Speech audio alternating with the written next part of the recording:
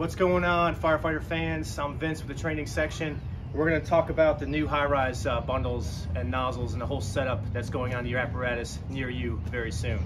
Okay, so we have transitioned into basically carrying what is a 2.25 diameter hose package with a nozzle that is a basically a small mini stack, which is a one inch over an inch and an eighth uh, tip, okay?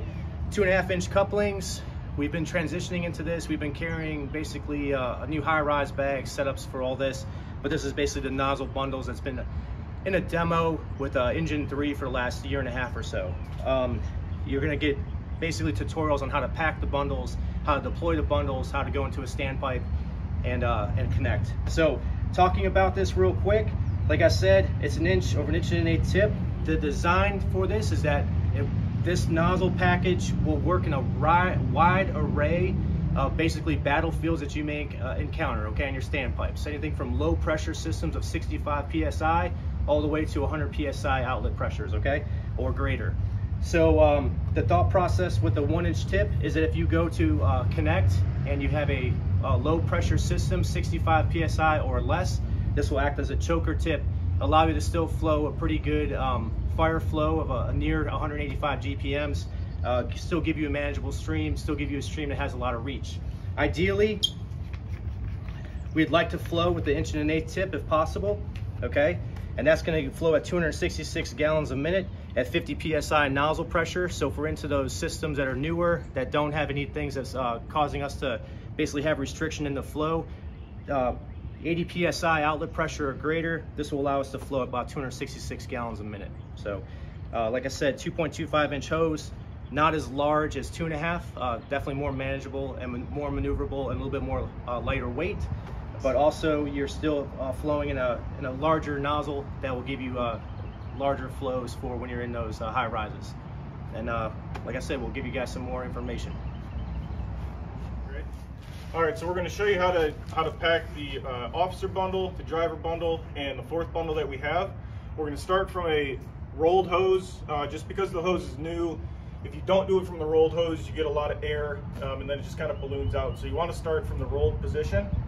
We have a mark with a Sharpie at 36 inches, and that's going to be from the end of the coupling. So that 36 inch mark is going to be where you're going to make your first fold. So when you start out, uh, it's very similar to the Denver load, except we have the male coupling um, at our knees. What you're gonna do is you wanna make a 90 degree angle with the male coupling. Hold that in place with your knees. You're gonna go up to your 36 inch mark, make your first fold. So 36 is basically gonna be right in the middle of your first fold. As you come down, you wanna keep it tight, and your first fold at the bottom is gonna be almost right in line with the coupling. Once you make that first fold, don't worry about the male coupling anymore. As you go around, all of the folds are gonna line up off of that first one. So we're gonna come around to the top. Again, keeping everything tight. Your next fold is gonna be right in line with your first one, and we're simply gonna go back and forth and make each fold on either side. Keeping it uh, taut with your knees is gonna kind of keep it in place as we go back and forth.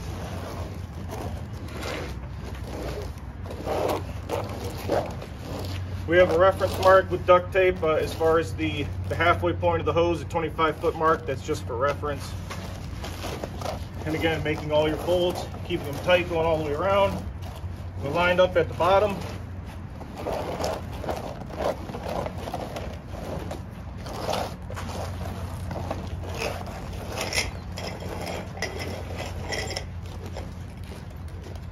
And then your last fold, you'll end with female coupling coming down, you're gonna make the connection with the male.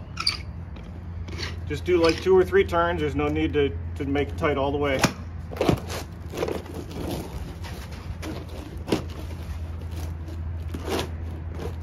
You have your bundle. All right, so what we're gonna show you here is the, this is gonna be the firefighter bundle. Uh, it's very similar to the driver and officer bundle. We still have our 36 inch mark, marked with Sharpie, that 36 inches is measured off of the tip of the nozzle. So we're not going 36 from the coupling like we did with the others. It's gonna be 36 from the end, end of the nozzle.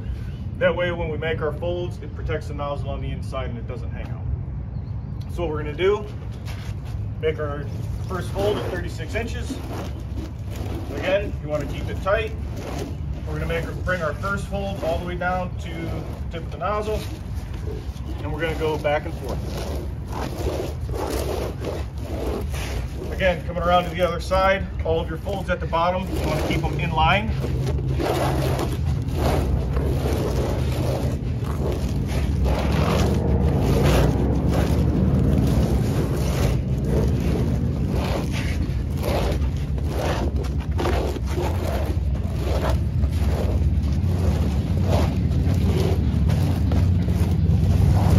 Just going back and forth.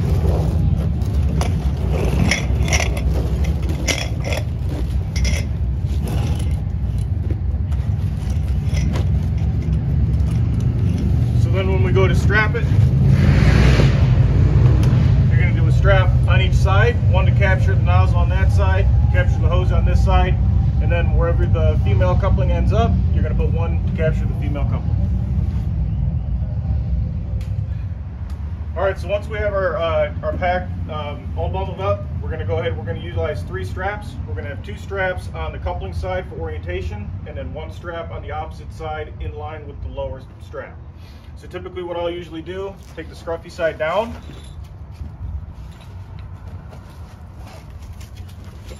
and then once you secure it, try to secure it with your tab on top. That way when you do it to all three of them, when you lay your bundle down, you have the straps all in line uh, and you don't have to you don't have to mess with it. Just adjust it.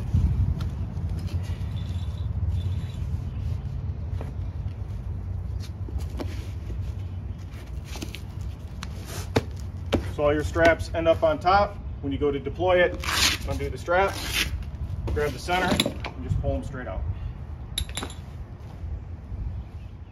All right, so we're gonna show you how to go ahead and strap the firefighter bundle. We'll start with the nozzle.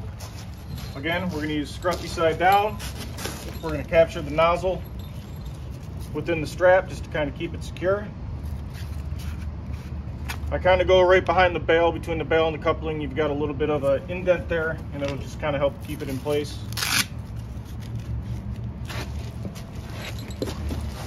We'll go directly to the other side. Again, keeping all of your straps, your strap tabs on top. And the next one, we're gonna capture the female coupling.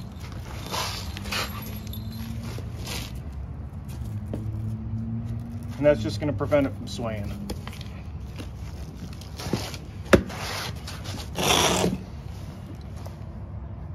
All right, so what I'm gonna show you here uh, is basically how to take it out of the compartment and put it um, on your air pack and then how to get it off your air pack once you get to where you're, you're going. So both the officer bundle and the firefighter bundle will be located in this compartment here, just like we're used to. Uh, so what you're gonna do is just pull the bundle out. You're gonna find the split, which is where your, where your uh, cylinder bottle is gonna go. Over your head, and drop it down. So it'll be on your air pack. So leaves both your hands open for tools, water can, officer bag, uh, or wherever else you decide to take uh, on a high rise. To get it off, once you get to your landing, just grip the bottom of it, and you're gonna give it a little push, and then you're gonna push back. And it's gonna come off that easy. From that point there, undo your straps, undo your coupling, and you can flake it out. All right, so uh, the other way we're gonna show you to carry it, which is uh, probably a pretty common way, it's kind of the go-to, is gonna be over your shoulder, which is probably what you're used to.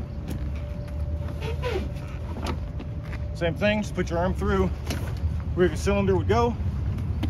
You still have both hands free. Uh, you know you're gonna wanna kind of hold this pack, you have one hand free, uh, so I prefer actually over the cylinder, but uh, this is also an option if you choose to do that.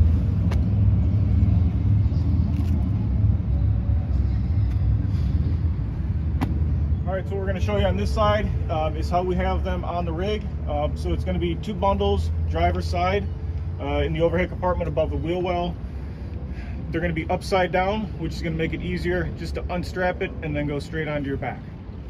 So what we're gonna do, just unstrap it in the middle, grab your bundle, which is already upside down, throw it over your back.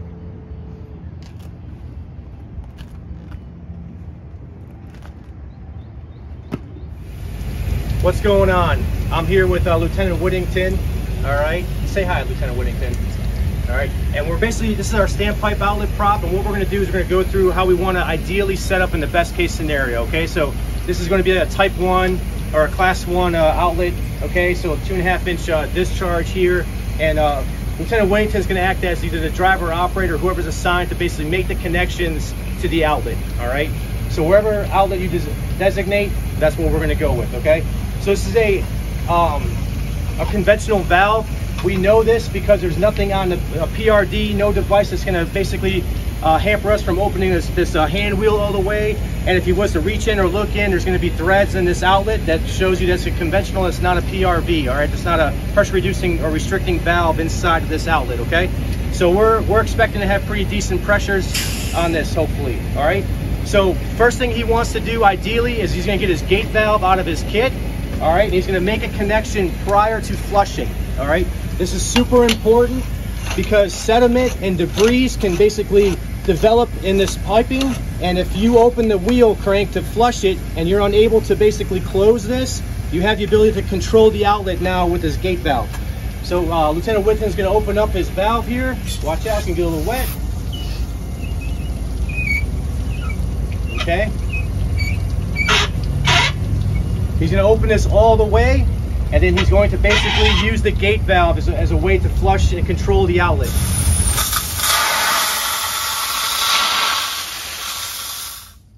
Okay, very good, awesome. So at that point, he's able to now connect the rest of his equipment, all right? If he has to use an elbow to get out and make some room, he's gonna make his connection with his elbow.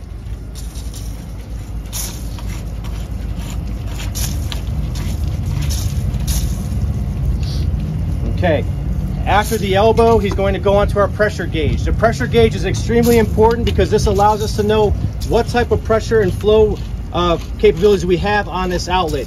All right, the, the pressure gauge needs to go past the elbow, or I'm, I'm sorry, past the gate valve, because if we are between the gate valve and the outlet with the pressure valve, we're not getting a true flow pressure, we're just getting what the outlet's pressure is, okay? And we'll talk about that as we communicate with our nozzleman. At this point, he's able to now connect into his uh, coupling of his hose.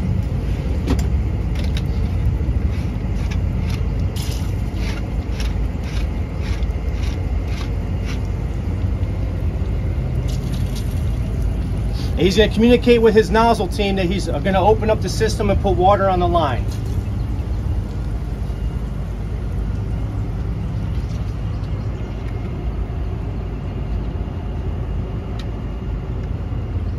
The gate valve, he's going to charge the, the hose line.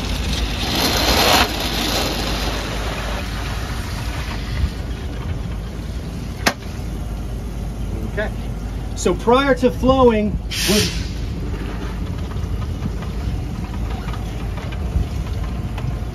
Okay, we have the nozzle, it's, it's open. Basically, we want an ideal circumstance, we want to test and see what our flow pressure is. Right now, we're at about the uh, 60, 70 PSI range which is good for the one inch tip. If he was to shut down or the nozzleman was to shut down, we basically have a pressure of what's in the system. So Adam, go ahead and shut the nozzle down.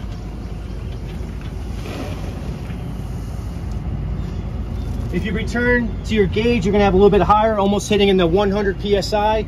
And right there, that's not a true pressure, that's more of a static pressure, okay? So what we wanna know is what our flow pressure is once the nozzle is open, and we can set everything and restrict it based upon using the gate valve here. And that's basically a setup on an outlet. All right, so we're down here at the nozzle. Again, we have a one inch over inch and an eighth. Uh, the pressure that we want at our standpipe for the one inch is gonna be 65, and for the inch and an eighth, it's gonna be 80.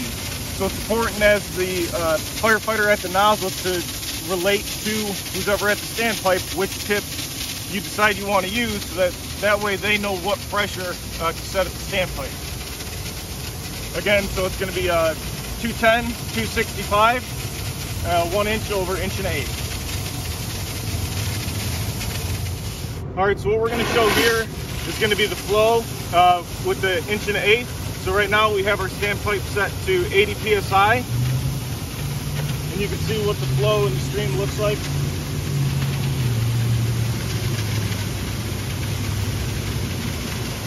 Then what we're gonna do is now we're gonna lower the pressure at the standpipe back to 65. And you'll be able to see the stream and the reach with that as well.